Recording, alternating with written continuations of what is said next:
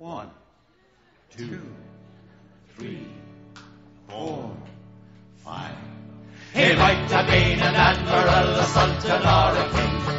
And to his praises we shall always sing. Look what he has done for us, he's filled us up with cheer. The Lord bless Charlie Mops, the man who invented beer, beer, beer, jiddly beer, beer, beer. A long time ago, way back in history, when all there was but cups of tea.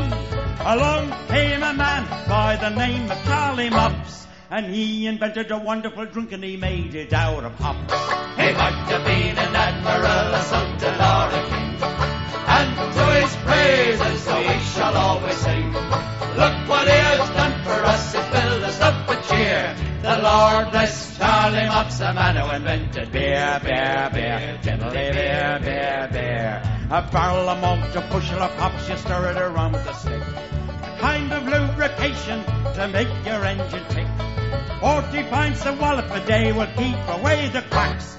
It's only eightpence halfpenny a pint and one and six in tax. He might have been admiral, a sultan, or a king. And to his praises we shall always sing.